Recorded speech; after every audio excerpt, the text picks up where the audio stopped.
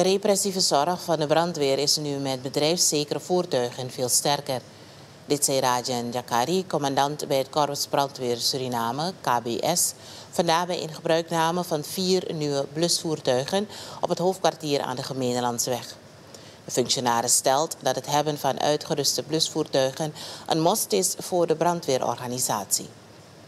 Op dit moment zijn wij geconfronteerd met een situatie waarbij een groot deel van de uitrukvoertuigen in een slechte technische staat verkeren. Waardoor de veiligheid van het uitrukpersoneel in gedrang kan komen. Het proces van afschrijven en vervangen van de uitrukvoertuigen is reeds ingezet. Het wagenpark wordt met kunst en vliegwerk in stand gehouden door de technische dienst, zodat bij calamiteiten adequaat opgetreden kan worden. Rekening houdende met de precaire financieel-economische situatie van ons geliefd Suriname, hebben wij bewust ervoor gekozen om goed gebruikte blusvoertuigen aan te schaffen. Jakari geeft aan dat een aantal voorwaarden zijn gesteld bij de aanschaf van de voertuigen. Patrick Campagne, directeur operationele diensten van het ministerie van Justitie en Politie, stelt het op prijs dat de brandweer ondanks alles hun beste beentje voortzet.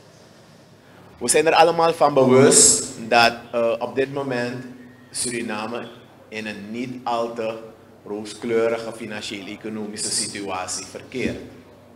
Maar dat betekent niet dat de brandweerzorg en de veilige brandweerzorg, zowel voor het personeel, geen noodzaak is. En ik ben ervan verzekerd, want als we de jaren bekijken waarop de brandweer omgaat met zijn materieel, ben ik ervan verzekerd dat de blusvoertuigen in goede handen zijn.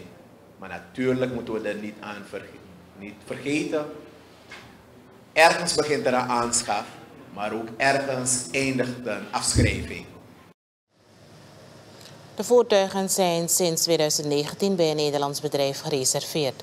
Het probleem met voertuigentekorten is volgens de leiding bij de brandweer echter nog niet opgelost.